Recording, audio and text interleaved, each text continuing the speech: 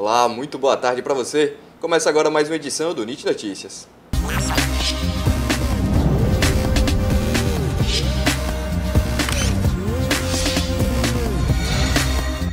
O Grupo Tiradentes teve o ano de 2021 de retomadas das atividades presenciais implantação do modelo acadêmico Tiradentes e investimento na modernização tecnológica. E é sobre tudo isso que vamos conversar na nossa entrevista especial de hoje. E para conversar com a gente sobre tudo isso, temos a presença do vice-presidente acadêmico do Grupo Tiradentes, professor Temson José dos Santos. Professor, muito boa tarde, seja bem-vindo ao NIT Notícias. Boa tarde, prazer estar com vocês aqui. Professor, para a gente começar, do ano 2021 foi um ano de muitos desafios. E para a implantação de novos modelos acadêmicos, de implantação, de modernização tecnológica, como foram esses desafios para o ano de 2021? Uma premissa inicial que a gente pautou desde, desde sempre foi a segurança das pessoas. Né? Essa, é, não, não, seria possível fazer nada se, se os alunos, se os professores, se todos os né, colaboradores não se sentissem seguros diante de uma pandemia. Né?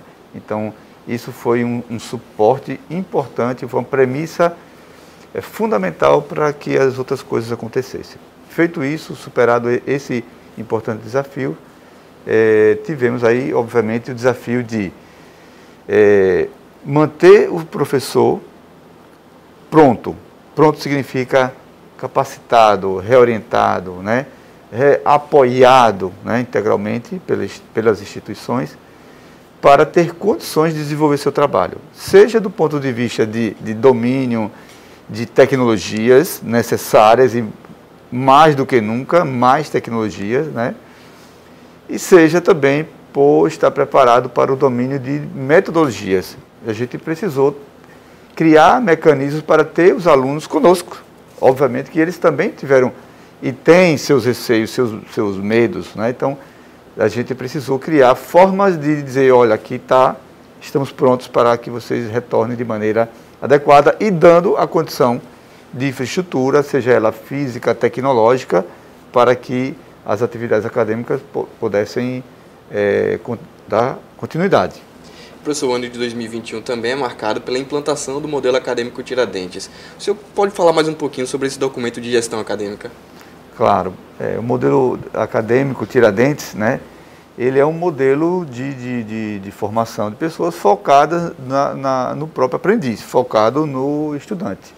Onde a gente... É, onde a gente vai valorizar muito, né, valoriza bastante, o acompanhamento deste aluno desde o ingresso dele. Ou seja, lá no começo, no seu primeiro semestre, a gente já starta um, um programa chamado Gestão de Aprendizagem, onde a gente conhece o perfil desse aluno e trata de maneira customizada esse aluno, levando até o final da sua formação lá, coincidindo mais tarde, na, já na sua saída, com a preparação para para o mundo do trabalho, com as ações de carreira, com as ações voltadas também para, por que não, para o, o, os exames oficiais né, do, do, governo, enfim.